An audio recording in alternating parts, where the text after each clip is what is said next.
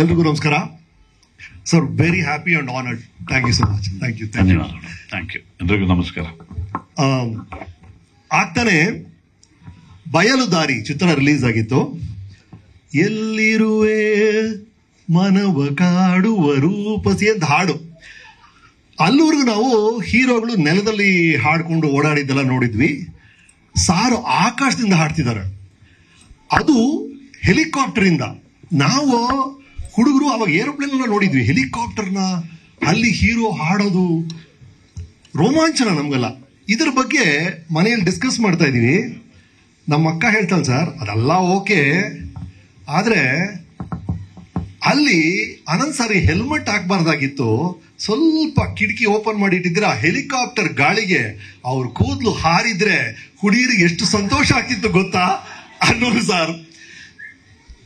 Sir Ananth sir step cut long hair ಇಟ್ಟಿರೋರು, ಅವ್ರು ನಡ್ಕೊಂಡ್ ಬರ್ಬೇಕಾದ್ರೆ ಕೂದ್ಲಿ ಮೂವ್ ಆಗೋದು. ಅದಕ್ಕೊಂದು ರಾಶಿ ಫ್ಯಾನ್ಸ್ ಇನ್ನೊಂದ್ ಕಡೆ ಹುಡುಗಿರು, ಸಾರ್, ಅವ್ರ ಕಣ್ಣುಗಳೇ ಸಿನಿಮಾಸ್ಕೋಪ್ ಕಣ್ಣುಗಳು ಆ ಕಣ್ಣುಗಳನ್ನ ಸಿನಿಮಾಸ್ಕೋಪ್ ಅಲ್ಲಿ ನೋಡ್ಬಿಟ್ರೆ ಏನ್ ಪ್ಲೆಷರ್ ಅಂತ ಅದಕ್ಕೊಂದು ವರ್ಗ. ಅದಕ್ಕಿಂತ ನಮಗೇನು ಇಷ್ಟ ಆಗೋದು ಅಂದ್ರೆ, ಸರ್, ಆ ಕಣ್ಣುಗಳಲ್ಲಿ ವ್ಯಕ್ತಪಡಿಸ್ತಿದ್ದ ಭಾವನೆಗಳು. ಅದರಲ್ಲಿ ಖುಷಿ, ಅದರಲ್ಲಿ ಪ್ರೀತಿ, ರೋಷ, ಮರವು, ಒಂಟಿತನ, ಆಹ್ಲಾದ. ಆ ಕಣ್ಣುಗಳಲ್ಲಿ ಬಂತಿದ್ದಂತ ಆ ಎಕ್ಸ್ಪ್ರೆಷನ್ಸು ಆ ಭಾವನೆಗಳು, ಅದರ ಜೊತೆ ಅವರ ಡಯಲಾಗ್ ಡೆಲಿವರಿ ಆ ಉಚ್ಚಾರಣೆ, ಅವರ ಬಾಡಿ ಲ್ಯಾಂಗ್ವೇಜ್ ಅವರ ಹೈಟು ಇದೆಲ್ಲವೂ ಸೇರಿ ಅನಂತ್ನಾಗ್ ಅವರನ್ನ ನಮ್ಮ ನಮ್ಮೆಲ್ಲರಿಗೂ ನೆಚ್ಚಿನ ನಟನಾಗಿ, ನಮ್ಮ ನೆಚ್ಚಿನ ಹೀರೋ ಆಗಿ ಐವತ್ತು ವರ್ಷಗಳು ನಮ್ಮನ್ನ ಆಕ್ರಮಿಸ್ಕೊಂಡ್ಬಿಟ್ಟಿದ್ದಾರೆ. ಅವರು. ಸೊ ನನಗೇನು ಅನ್ನಿಸ್ತು ಅಂದ್ರೆ, ಇದನ್ನೆಲ್ಲ ನಾವು ಪರದೆ ಮೇಲೆ ನೋಡಿದೀವಿ. ಅನಂತನಾಗ್ ಸರ್, ಅವರು ಹೇಗೆ ಖುಷಿ ಪಡ್ತಾರೆ, ಹೇಗೆ ದುಃಖ ಪಡ್ತಾರೆ, ಆ ಭಾವನೆಗಳನ್ನ ಸಿನಿಮಾದಲ್ಲಿ ನೋಡಿದೀವಿ. ಈಗ ನಾನೇನು ಅನ್ಕೊಂಡಿದ್ದೀನಿ ಅಂದ್ರೆ, ಈ ಕಾರ್ಯಕ್ರಮದ ಮೂಲಕ ಅದೇ ಭಾವನೆಗಳನ್ನ ನಿಜ ಜೀವನದಲ್ಲಿ ಅವರು ಯಾವಾಗ ಅನುಭವಿಸಿದ್ರು ಸ್ಕ್ರೀನ್ ಮೇಲೆ ಅಲ್ಲೊಂದು ಕತೆ ಇತ್ತು, ಅಲ್ಲೊಂದು ಸನ್ನಿವೇಶ ಇತ್ತು. ಅದರಿಂದ ಹಾಗಾಯಿತು. ನಿಜ ಜೀವನದಲ್ಲಿ when did Ananth sir feel angry when did he get frustrated ಅವರಿಗೆ ಒಂಟಿತನ ಯಾವಾಗ ಕಾಡ್ತು? ಅವರಿಗೆ ಭಯ ಯಾವಾಗ ಆಯಿತು? ತಿಳ್ಕೋಣ welcome to Ananthaloka with Ramesh. Right sir so that is the overall pattern ನಿಮ್ಮ ಇಮೋಷನಲ್ ಜರ್ನಿಯ ಮೂಲಕ ನಿಮ್ಮ ಕಥೆಯನ್ನ ಹೊರಗೆ ತೆಗೆಯೋಣ ಅಂತ. ನಾನು just about a week back ಅದು ನನಗೆ ಯಾಕೆ ಅನ್ನಿಸ್ತಾ ಗೊತ್ತಿಲ್ಲ. ಏನು ಸಾರ್ ನಾನು ನೋಡ್ಬೇಕು ಅನ್ನಿಸ್ತು ನನಗೆ? ಸರ್ ನಿಮ್ಮ ಮನೆಗೆ ಬರ್ತೀನಿ ಸುಮ್ಮನೆ ಜೊತೆ ಮಾತಾಡಬೇಕು ಅನ್ನಿಸ್ತಾ ಇದೆ ಅಂತ. ಬನ್ನಿ ರಮೇಶ್ ಅಂದರು. ಅವ್ರ ಮನೆಗೆ ಹೋಗಿದ್ದೀನಿ, ಮಾತಾಡ್ತಾ ಇದೀವಿ. As usual Gayathri madam hospitality extraordinary ಆಗಿರುತ್ತೆ. ಆಕ್ಚುಲಿ ಅದು ಮನೆ ಡೈನಿಂಗ್ ಟೇಬಲೇ ಅಲ್ಲ, ಅದೊಂದು ಫುಡ್ ಕೋರ್ಟ್ ಅದು. ಅದೊಂದು ಫುಡ್ ಕೋರ್ಟ್ ಅದ್ರ ಬಗ್ಗೆ ಆಮೇಲೆ ಮಾತಾಡ್ತೀನಿ. ಅದೆಲ್ಲ ಆಯ್ತು. ಅವರು ಆಸ್ ಯೂಶಲ್ ಅವರ ಈ ತರ ಒಂದು ಟೇಬಲ್ ಮೇಲೆ ಒಂದು ಬುಕ್ ಇತ್ತು. It was about silk road ಅಂತ ಬುಕ್ ಅದು. ಸರ್ ನೋಡ್ಬೋದಾ ಅಂದೆ? ನೋಡಿ ಅಂದ್ರು. ನೋಡಿದ್ರೆ ಬುಕ್ ಓದೋದು ಒಂದು ಸರ್ ಎಲ್ಲವನ್ನು ಅಂಡರ್ಲೈನ್ ಮಾಡಿಟ್ಟಿದ್ದಾರೆ ಅವರು. ಅವ್ರಿಗೆ ಏನೇನು ಇಷ್ಟ ಆಗುತ್ತೋ ಎಲ್ಲವನ್ನು ಅಂಡರ್ಲೈನ್ ಮಾಡಿ ಇಟ್ಟಿದ್ದಾರೆ so that is where I want to start sir if you think ನಿಮ್ಮ ಜೀವನವನ್ನೇ ಒಂದು ಬುಕ್ ಅಂತ ನಾವು ಇಟ್ಕೊಂಡ್ರೆ ಅದರಲ್ಲಿ ಅಂಡರ್ಲೈನ್ ಮಾಡುವಂಥ ವಿಷಯಗಳು ಕೆಲವಿರುತ್ತೆ. ಅದರಲ್ಲಿ ಮೊದಲನೇ ಪೇಜ್ ಎರಡನೇ ಪೇಜಲ್ಲಿ ಅಂಡರ್ಲೈನ್ ಮಾಡುವಂತಹ ವಿಷಯ, ಈವಾಗಲೂ ನಿಮಗೆ ನೆನಪಾಗುವಂತಹ ವಿಷಯ, ಒಂದು ಆಹ್ಲಾದಕರವಾದ ವಿಷಯ.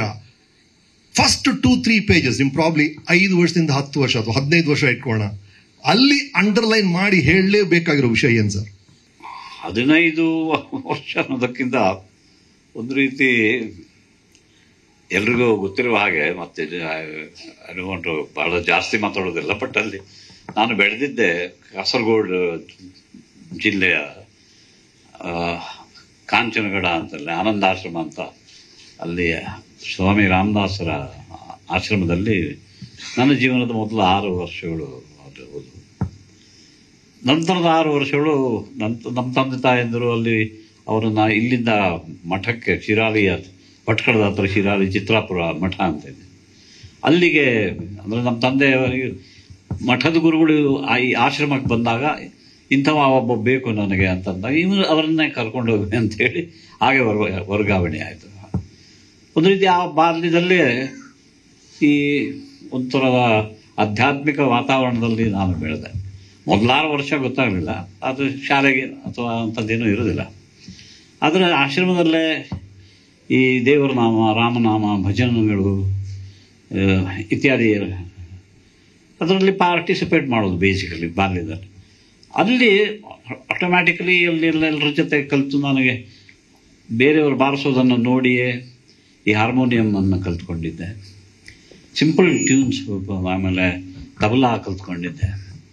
ಈ ರೀತಿ ಶಿಕ್ಷಣ ಸಿಕ್ತು. ಮತ್ತು ರಾಮನಾಮ ದೇವರ ನಾಮಗಳು ಅಲ್ಲಿ ಎಲ್ಲ ಭಾಷೆ, ಎಲ್ಲ ಜಗತ್ತಿನ ಎಲ್ಲ ಕಡೆಯಿಂದ, ಭಾರತದ ಎಲ್ಲ ಕಡೆಯಿಂದ ಜನ ಬರ್ತಾರೆ. ಭಕ್ತರು ಇವತ್ತಿಗೂ ಬರ್ತಾರೆ. ಅಲ್ಲಿ ಬೆಳೆದೆ.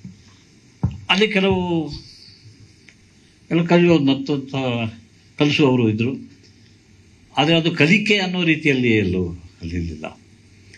ಅದು ಪರ್ಯಾಪ್ಸ್ ಬೇರೆ ಹುಡುಗರು ಅದು ಅದೇ ಥರ ಹುಡುಗಿಯರು, ಹುಡುಗರು ಕೂಡ ಅದೇ ರೀತಿ ನನ್ನ ಜೊತೆ ನನ್ನ ಥರನೇ ಇದ್ದರು ನನಗೇನು ಬರ್ತಿತ್ತೋ ಅದು ಅವರಿಗೂ ಬರ್ತಿತ್ತು.